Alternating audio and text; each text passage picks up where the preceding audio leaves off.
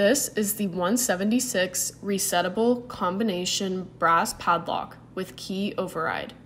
The 176 is a great padlock when you want to have supervisory access on a combination lock. It is most commonly used for lockers, dumpsters, gates, and cell phone towers.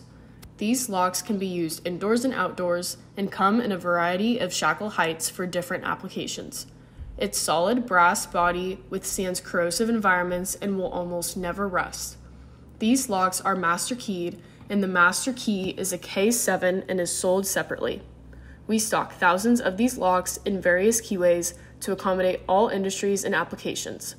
These locks can be engraved with company information, employee names, and logos.